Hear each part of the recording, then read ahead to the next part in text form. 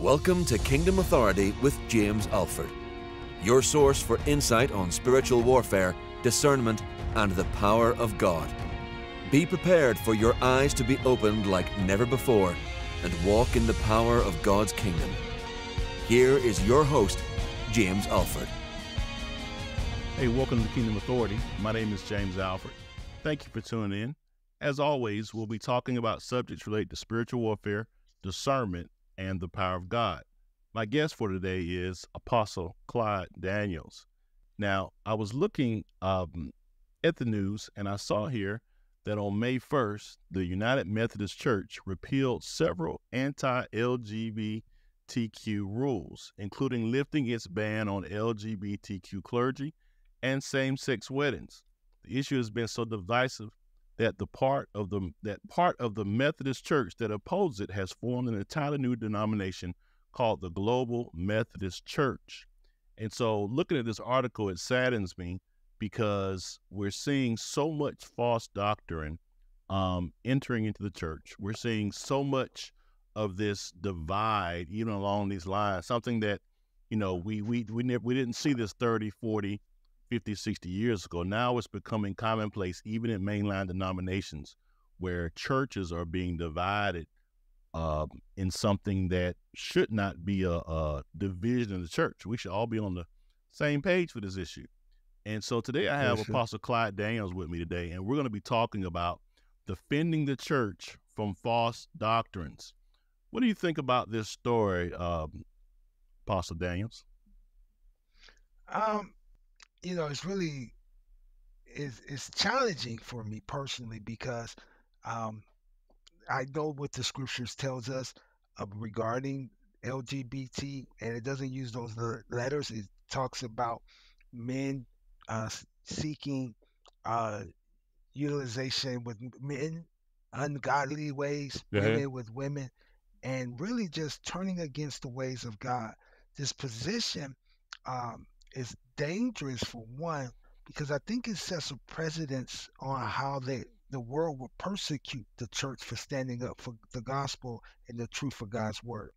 Uh, I was just looking at their website, and they're they're really pushing a worldly perspective. I don't even want to call it secular, but a worldly perspective of inclusion that says basically if you feel that this is okay with you, then we accept it. Well, that's the Unitarian doctrine. Right. And, and we all know the Unitarian faith accepts all things. Right. So what's next? What's next when it comes to that? But it's, you know, it's the age we're living in and the fight where the deception came in at, they're using not just civil rights and the civil rights movement, now they're calling it basic human rights. Absolutely.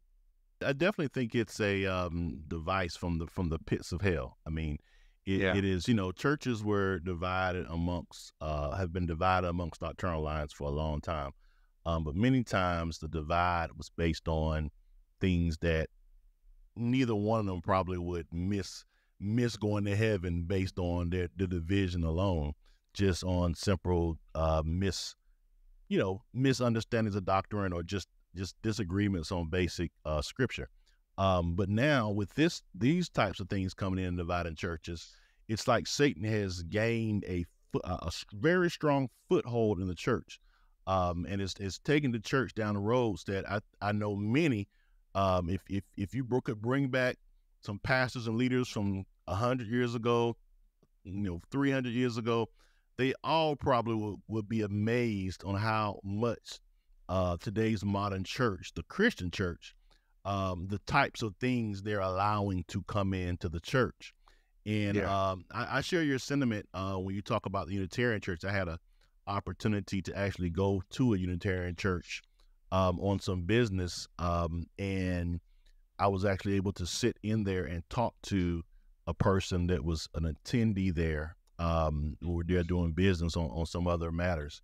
Um, but yeah, they allow anything. Unitarians, pretty much, if you're a witch, you can go to a Unitarian church. You can dress up as a witch um, and go to Unitarian church. It's very much so outside of uh, the Christian uh, doctrine, Christian understanding. I don't even know why people even call it Christian, um, because it's really just we receive everything. It's right. all religions almost, um, and, and and so to see this type thing happening in these mainline denominations, I, I ask myself, what happened? What what is happening? You know, it's really, it's it's really perplexing because of the fact there's literally a position that the United Methodist Church in particular took in 2016 to uphold the ban against homosexuality practices, same-sex marriages, clergy homosexuality. So we're talking about they wrote a book in 2016. And so we're talking eight years later, they've basically said, let's get rid of our stance and they removed the complete bans on gay clergy, same-sex marriages, and they. Uh, I, was reading one person said uh, about the lightning speed of the changes. Uh, one reverend said um, it didn't take days, honey. In other words, there's been there's been a consistent activism for over 50 years to really push this agenda into the church. Now, it's one thing to say into society, it's another thing to say into government, but you're literally saying we want to push this into the Christian worldview of of human life, which is man and woman, how God created us. And so that's the deception because it's literally has been a work in progress of the enemy, as you said, from the pits of hell to really bring this forth and bringing acceptance in a modern society that looks at the words of the scripture as either outdated or wrong because we have progressed.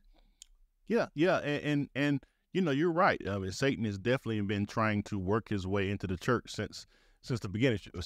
From the beginning of time, he's trying to he's been trying to yeah. destroy the church. Um, when he when he came for Adam and Eve in the beginning, and even how he tried Jesus. So throughout time, Satan has definitely been trying uh, to penetrate and to destroy uh, the works of God.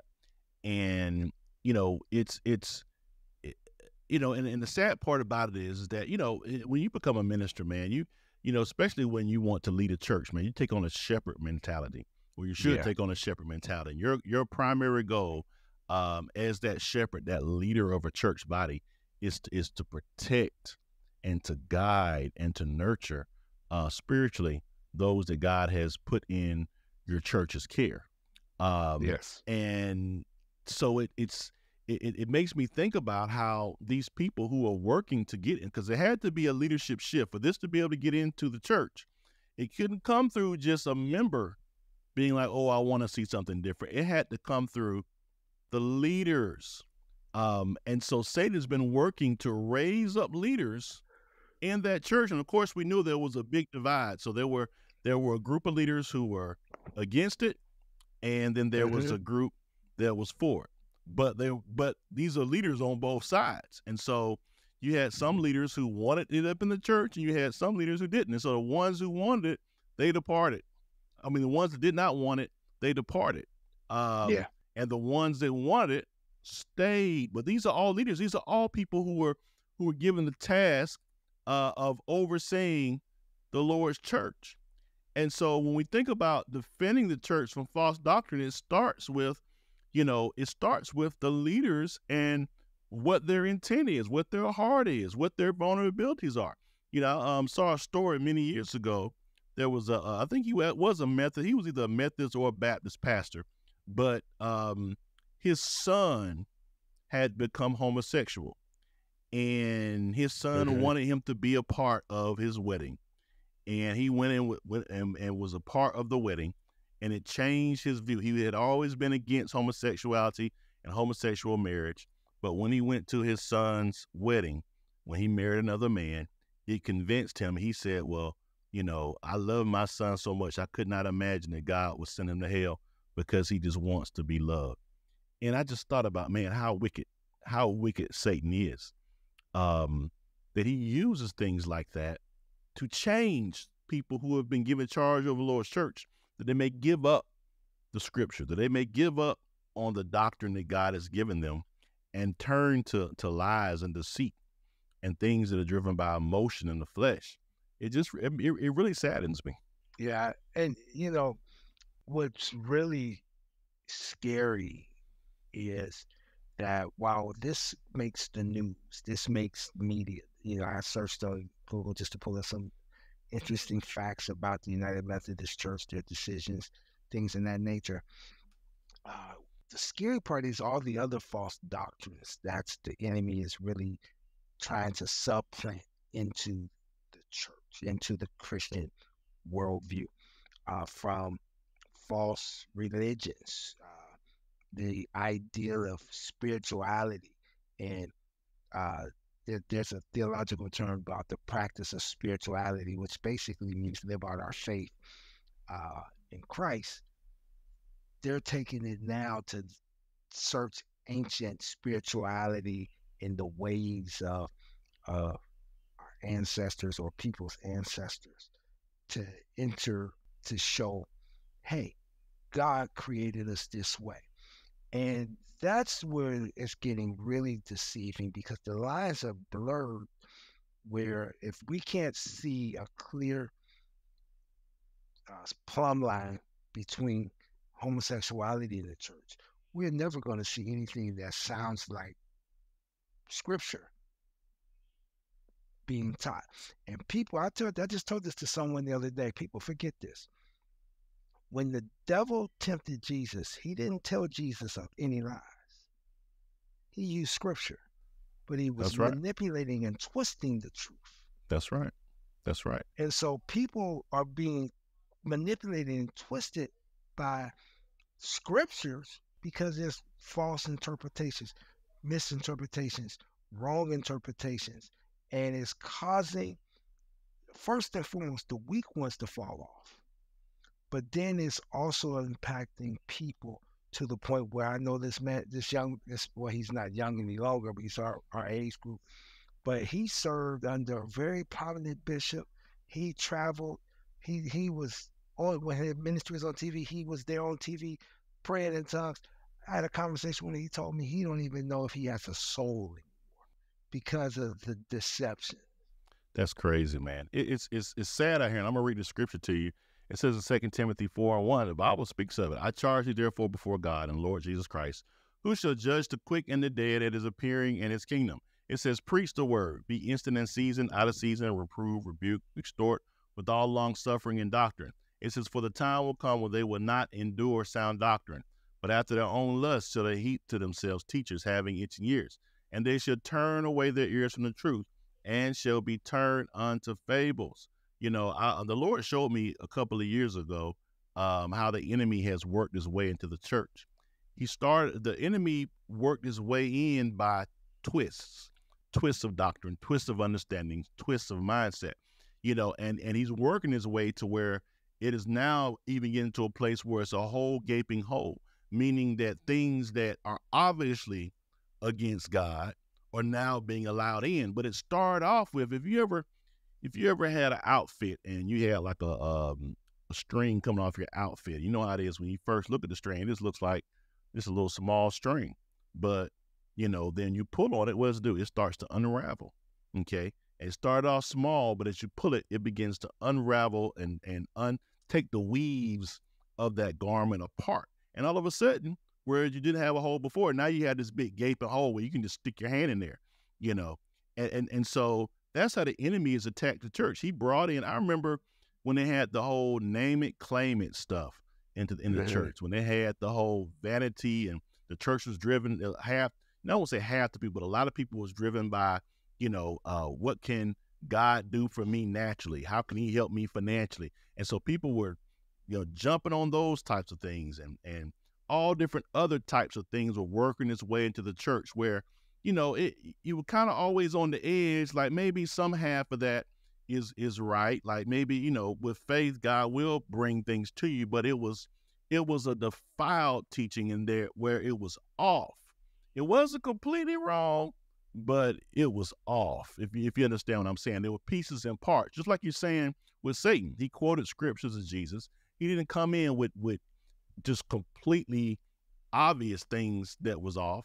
He came in quoting things, but there was a defilement behind it. Okay. And mm-hmm. that was the, but that's the start.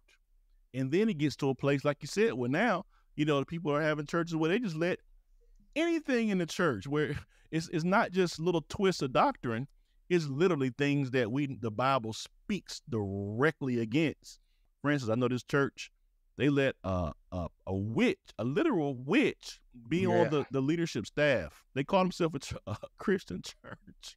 Yeah, you know that's that's that's a that's a broad thing to allow the church. That's not a twist of scripture somewhere. That's literally just denying the the faith of, of our Lord Jesus Christ and allowing damnable the Bible calls it damnable heresies into the church.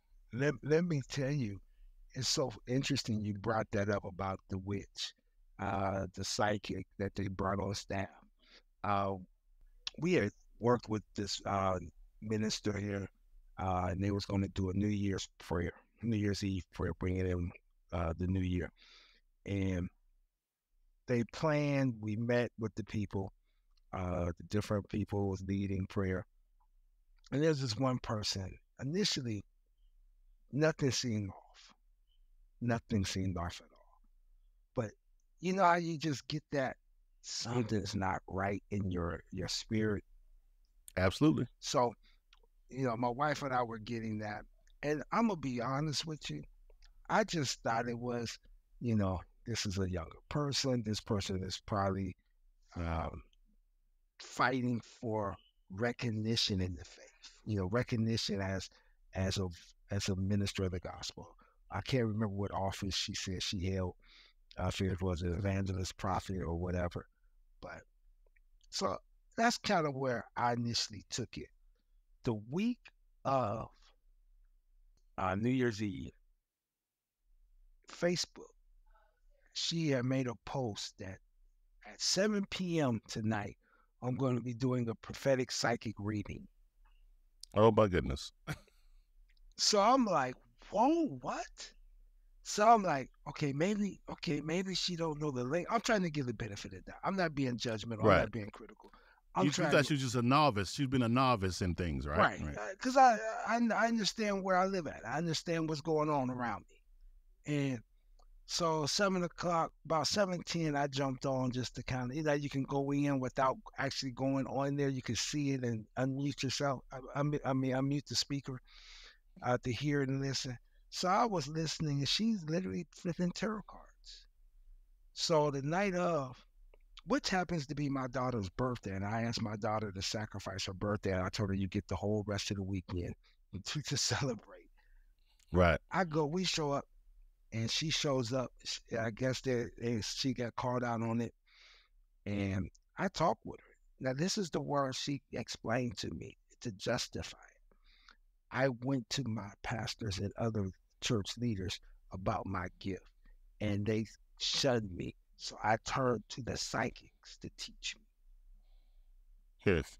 Now, I just, this is how literal deception has invaded the church. You didn't go find a prophetic person. You didn't go find, you know, and eh, you know, it's the great Atlanta area. There's there's a few churches that high level prophetic training and equip people in the prophetic here. Right. You turn to the dark side, psychics, to teach you how to be a prophet for God or prophesy on behalf of God. Well, it, it's it's the lust for power. It's it's it's a lust for you know not wanting to. It is a problem with people these days that people don't want to have to go through any steps to do anything. They want yeah. to get right to what they want, and so they're willing to get it by any means, even if it means compromising their soul. Yeah. You know, she was more interested. She seemed more interested in the power than she was in a relationship with Christ. And and for years we've seen people fight for recognition. That, right. So, but I had never seen anybody to tell me uh, I wanted to deliver a drug addicts, so I went to crack house and used drugs before. I want to be a prophet, so I'm gonna go to the ultimate dark side to learn how to be a prophet of God.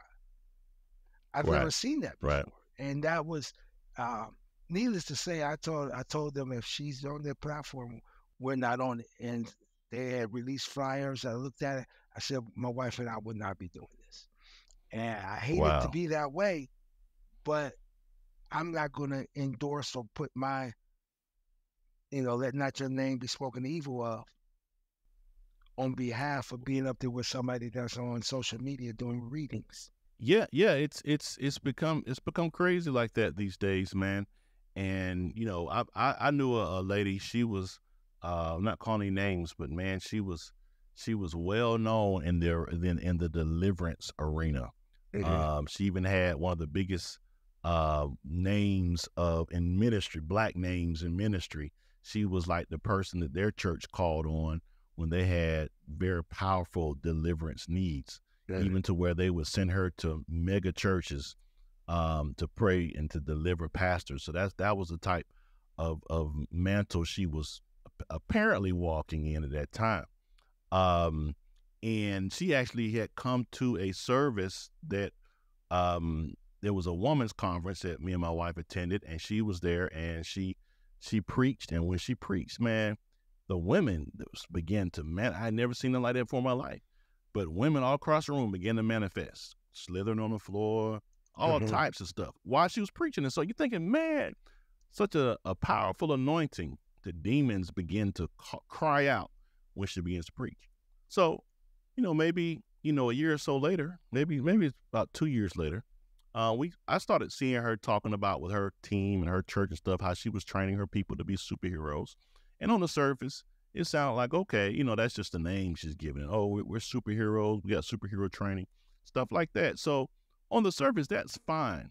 But there was something darker behind it. Um, she actually completely changed and became a Reiki healer, which is mm. new age. And she she and she put that as her um her, her tag on social media and and it's now like a Reiki healer, something that's completely separate from the things of God. And so now she's moving, and and, and it made me question and go back and look at all those times. You know, where she where she stirred? Was she involved in this thing back then? But it was so, but her power was so great that it, it made the appearance that she was moving out of the power of God, but she was moving out of another spirit. How did she get to this place? And that's the type question because this was a person who was very senior and, and he grew up in the church and had been preaching since a young girl and, and was moving in such authority and knew about spiritual warfare, knew about discernment, you know, but still allowed herself to be sucked in by these deceiving spirits. I asked myself, how does that happen? You know, you know, what's really interesting, and that's what I was talking about the other uh, deceptions, the other false doctrines that's creeping into the church. Uh, we encountered a young lady about the Ricky healing, uh, and they got if you, I mean, if you do research, you can see it. They have where you have Christians that literally have said Reiki helped them get closer to God, and I'm like, well, why didn't the Holy Ghost help you get closer to God? And this is how this deception is working against believers. Because again, you know, when you have someone that's coming out of that lifestyle, you or you have somebody that's been exposed to it and never received deliverance. And now you have someone in the church teaching it, someone in the church doing it. What you're literally saying to them is, oh, this is of God. Uh, Right. The one psychic that used to come on Montel Williams show and be on the, she helped police find bodies of missing mm-hmm. people. Uh, her her uh, books. I remember doing research on her. I won't say her name, but she was very very popular in the '90s and early 2000s, and she literally calls herself a prophet, but is a known psychic medium. Right. And so this is the kind of the unfortunate reality is this is what we deal with in the church. And when the church loses its cutting edge. The church begins to dull itself because it's trying to be accepted and yes. relevant to not relevant to bring change, relevant and ex- to be accepted as right loving, then we get it. Now we're not hateful people. We love you. We're gonna love you. We're gonna love the demon out of you. We're gonna cast it out of you in our love. Right.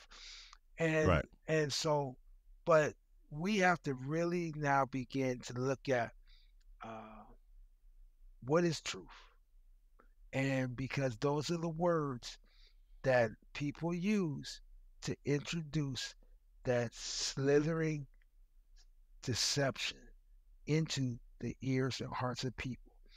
They be like, right. that's truth. Listen, I will tell you truth. We preach truth.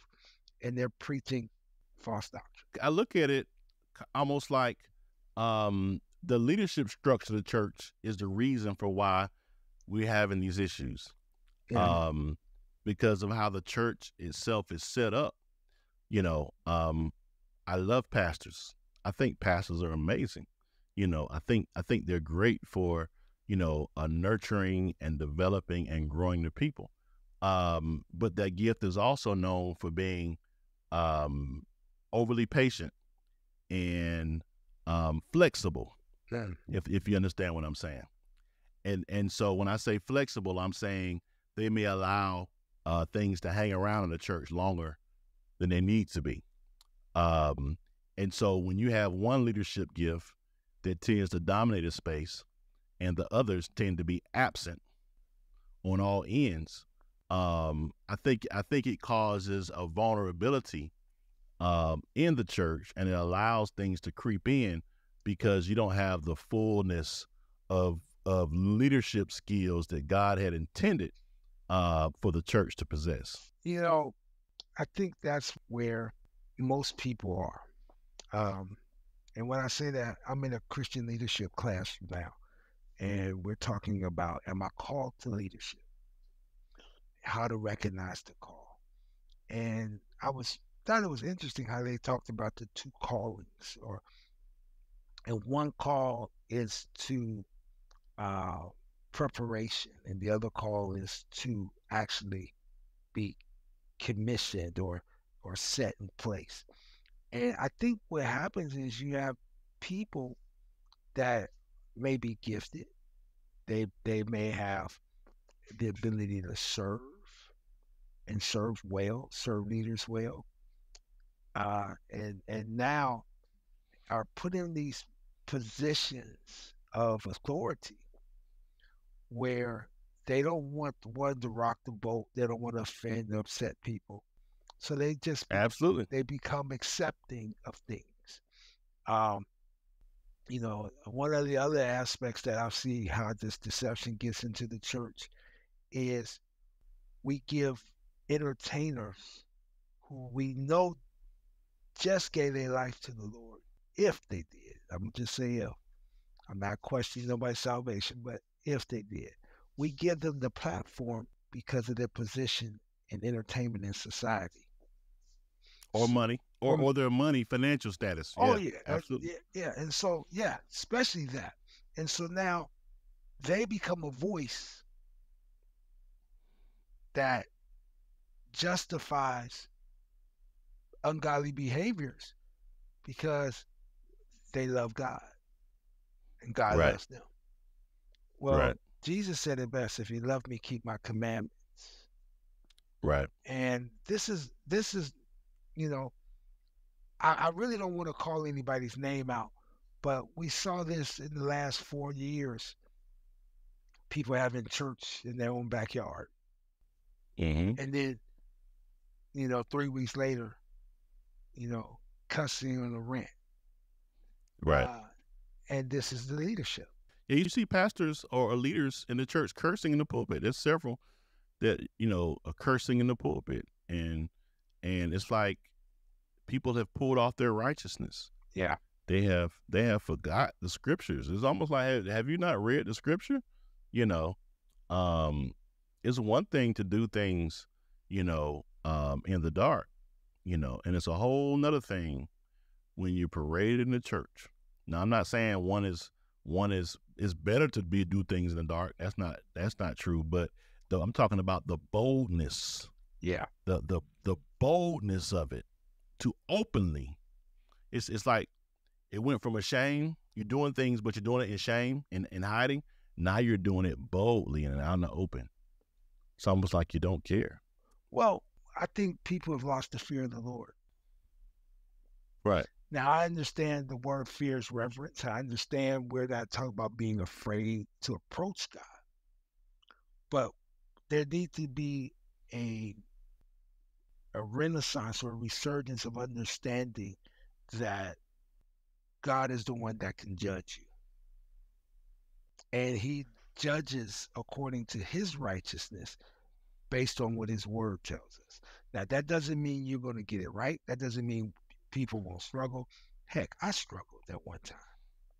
Right. But the heart of David was a man after God's own heart, even though he had issues and he failed and sinned against God a few times. But what right. was, what was different? God, David sought the heart of God. Saul sought the heart of people.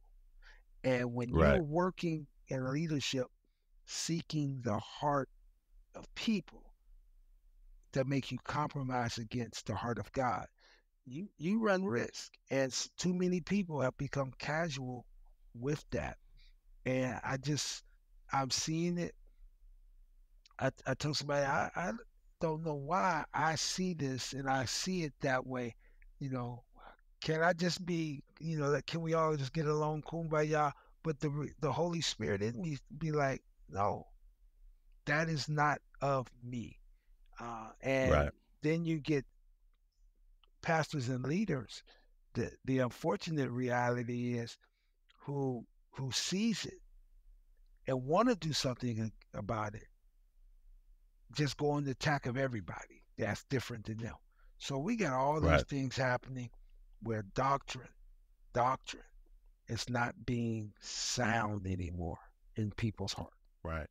Well, you know, we all we all need Christ, and we need Christ to come back now, and we need Him to come and rule with the rod of iron. I understand now why He needs to have that rod of iron, if if nothing else, to bring the church into order. Um, it is needed. It is needed so much. Um, I tell you what, I have enjoyed having this discussion with you today. Um, but we got to go, and I want to thank everybody who joined us today. And remember, this is the Kingdom Authority broadcast. My name is James Alford. Um, always happy to have you join us each and every week where we talk about spiritual warfare, discernment, and the power of God. Well, God bless you. We love you, and we will talk to you soon. Thank you for listening to the Kingdom Authority Podcast. Join us every week for powerful teachings, insightful interviews, and testimonies of God's power. To contact us for more info on books and articles from James Alford, make sure you go to jamesalford.org.